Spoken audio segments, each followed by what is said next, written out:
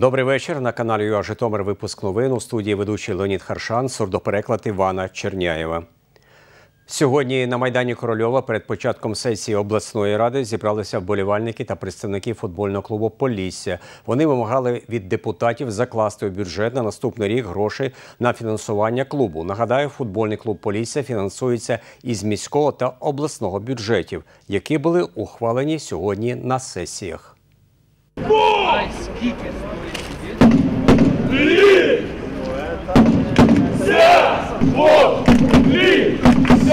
Вчора прийшла інформація, що на бюджетній комісії обласної ради е, відмовилися виділяти кошти на фінансування вимог футбольного клубу Полісся, не дивлячись на те, що був підписаний меморандум між міською та обласною радою про спів- співпрацю та підтримку футболу в місті, в місті Житомирі.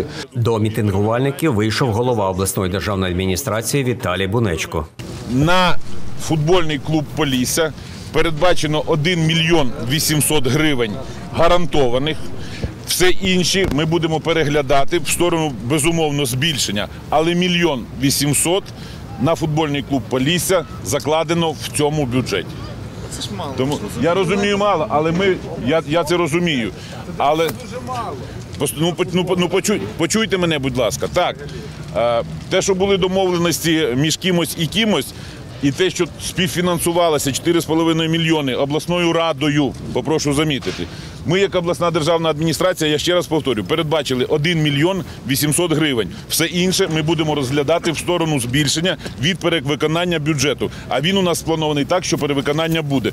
Тому я маю велику надію, що ми з перевиконання все-таки зможемо дати ще додаткових розігнати до 4,5 мільйонів ті, які були. Окрім того, ведуться перемовини з певними е, комерційними структурами, які готові також дофінансовувати футбольний клуб Полісся. Зрештою, депутати обласної ради заклали у бюджет наступного року 1,8 мільйонів гривень. Решту 3 мільйони обіцяють виділити у другому кварталі. Гроші на фінансування Полісся у міському бюджеті наступного року передбачені у сумі 4,8 мільйонів гривень. Про це у перерві сесії міської ради сказав голова Сергій Сухомлин. Ну, зазвичай ми е, на 50 на 50 фінансували. Ну, трошки більше місто давало, там 4,5 мільйони, область там 4,3 мільйони. Ну, майже е, порівно фінансували. Загальна сума там Е, Біля 9 мільйонів гривень.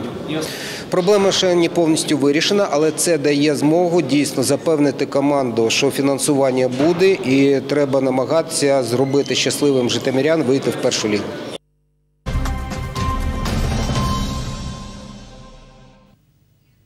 Теплі речі, листівки та малюнки передали сьогодні для військових вихованців дитячих садочків Житомира. Як діти створювали малюнки і що на них зображено, дізнавайтесь у наступному сюжеті.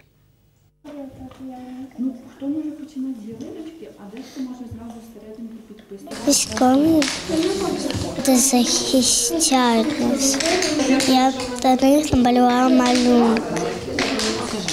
Війська і прапор України, і, с- і ялинку, і с- сніг, і сніжинки. Я знаю, що вони завжди переможуть у Росії. І і ми будемо жити спокійно. Я хочу миру для захисників України. І щоб ніколи там не ссорились і не нападали на друг друга. Я для захисників нашої країни зробила ялинку. Щоб їм було веселіше святкували Новий рік.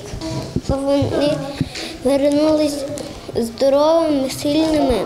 Вітаємо наших захисників з Новим роком та Різдвом Христовим. Повертайтеся живими. Ми з дітками готувалися зробити приємні подаруночки. І солодкі смаколики, і деякі речі, і також виготовляли ми з дітками святкові листівки для наших захисників. Дітки в основному малювали українську символіку, так як вони знають, що це для наших захисників.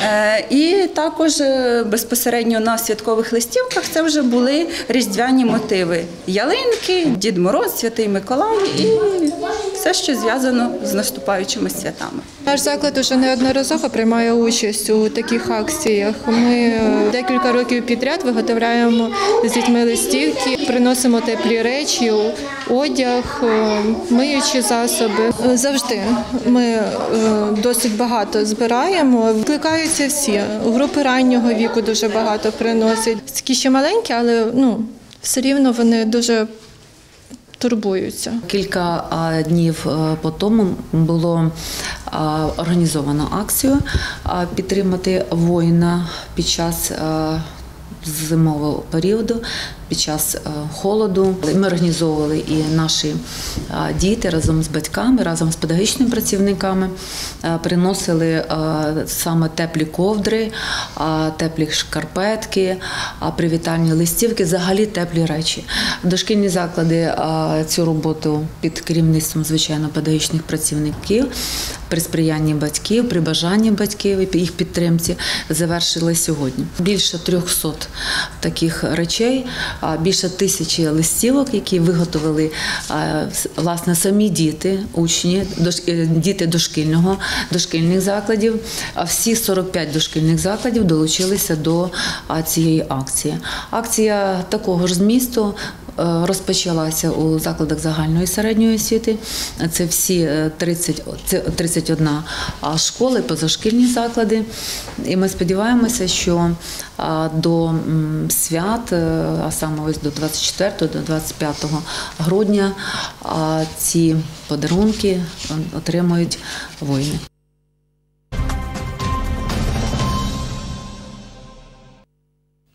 Благодійний освітньо-культурний проєкт Мамине сонце відбувся сьогодні у Гнатюк арт-центрі. Для людей з синдромом Дауна та їх батьків організатори провели майстер-класи, тренінги і фотосесію. Співорганізаторка проєкту Катерина Табаченко розповіла, що цим заходом завершили цикл проєктів з протидії емоційного вигоряння мам. Участь у заході взяли 34 родини. Це я робила подарунок. Ми з Валею робили У мене брат ризатий, він ходить, він балакає. Такого святого Миколая я подолу моєго брата Валерчика. І Ми робили ці подарунки для наших батьків, щоб вони були щасливими в цьому новому році, щоб їх було все в новому році хорошо, щоб вони ніхто на нас, щоб, щоб батьки наші не боліли і були здорові. Сьогодні відбувається таке, такий захід, який більше нацелений на підтримку мам, дітей з особливими потребами. Тому що я вважаю, що ці мами дуже потребують більше уваги, більше підтримки, і саме мамам не вистачає зайвої хвилинки для себе. тому що дитина потребує 24-часового догляду. І коли е, буває така можливість, що побути в колективі, побути з такими ж самими мамами і з дітками, щоб хтось допоміг трошки побути з дитиною, а мама е, провести час наодинці, то ми завжди відкликаємося на таку можливість. Захід е, для мам, мамине сонце. Це протидія емоційного виснаження мам. Наша громадська організація давно вже займається такими тренінгами психологічними. Сьогодні в нас іде акцент на мам, е, в яких дітки з різними е, генетичними захворюваннями, і це дуже добре, те, що ми змогли зібрати їх всіх. Обережное рукоделие. Мандала, как часть э, мандала-плетений, это является мощной техникой арт-терапии. Е, Паралельно, як ви бачите, за нашою е, працюють візажисти професійні, професійні фотографи. Кінцевою метою нашого проекту це буде особистий календар для кожного з мам в сім'ю з їхніми чудовими фотографіями. Діти із синдромом е, Дауна або діти сонця, е, вони завжди ну, для них мало на них звертають увагу. Тому ми, ми маємо як популяризувати і їм як до як допомогу, щоб показати, що це життя не таке погане. Це по-перше, їм їм сьогодні під, підготували чудове свято. Їм буде приємно по- отримати до е, нового року свої світлини. Виховувати дитину з інвалідністю це дуже важко, особливо е, перші роки.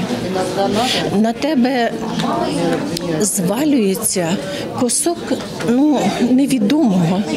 Я пройшла цей шлях. Він дуже складний. Він складний морально, він складний фізично. І можете уявити собі, яка це підтримка, коли запрошують мам.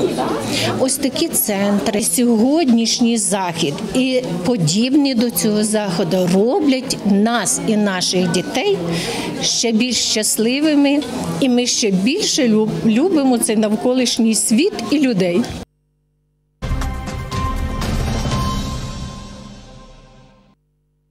60 світлин потрапили до фіналу обласного фотоконкурсу Рідний край моє Полісся. Експозиція триває в обласній науковій бібліотеці імені Оржича. Про учасників та переможців Володимир Шолдрук. Далі. Я з задоволенням ходжу на такі виставки, тому що ну, таке є оригінальне бачення е, фотографів. Ну, прямо дивишся на ці знімки і картини. Я, наприклад, от декілька таких вибрав, яких би я з задоволенням у себе на е, стіні, наприклад, у квартирі бачив би їх як картини. Дуже оригінальне таке бачення світу, дуже колоритне. І значить, що цікавить, що ну, настільки несподівані е, знаходяться рішення, що навіть не подумав би, що от воно може бути так, а, а, а чи інакше. Цій фотовиставці передував фотоконкурс фотомайстрів та фотоаматорів, у якому взяли участь 33 фотографи, які представили 233 світлини. Після суддійського відбору кращі світлини авторів взяли участь у обласній фотовиставці. Я сьогодні е, попав призори, е, зайняв по жанру портрета друге і третє місце. Я хотів показати, що наші жінки в Полісся це дуже чарівні, гарні жінки, е, гарні господині. Е, сьогодні вони є і політиками. Я вишукувала мить, чекала, і взагалі на фото моя подруга, і ми з нею разом працювали над створенням такого такої фотографії. Моя світлина зайняла друге місце, і назва її розповідь про друга. Чорно-біла фотографія більш дає емоційності. То були там треті місця, пейзаж, а цей раз перше місце. Корова в лілі, як є така фотографія. Їхав фотоапарат, лежав в машині, там часто їжджу по природі, по роботі. Ну, класно, я не знаю, журі сподобалось чогось. Репортаж, портрет, поліський пейзаж та вільна тема це номінації, за якими здійснювався відбір світлин. Е, Мета проведення цієї фотовиставки е, розповсюдження, так сказати, пропаганда нашого краю, любов до нашого краю, любов е, жителів до фотомистецтва. І взагалі, щоб люди бачили, в якому ми краї красивому живемо, і щоб цінили не тільки десь там екзотичні місця за кордоном, а цінили е, це наш рідний, е, наш рідний край, де ми живемо. Фотовиставка триватиме до 8 січня 2020 року. Древлянщина показує свої перлини. І саме головне, що їх висвітлюють як молодь, так уже митці, які шукають себе в е, природі Полісся. майстерність фотомитців зростає. От я подивився сьогодні кожну фотографію, і кожна е, по-своєму е, відкриває якусь е, свою тему. Підібрані такі назви чудові до фотографії. Є таке, що аж задумуєшся над назвою.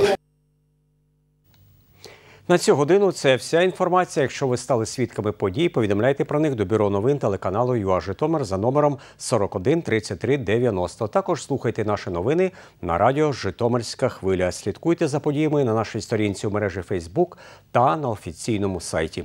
І на завершення прогноз погоди. До побачення.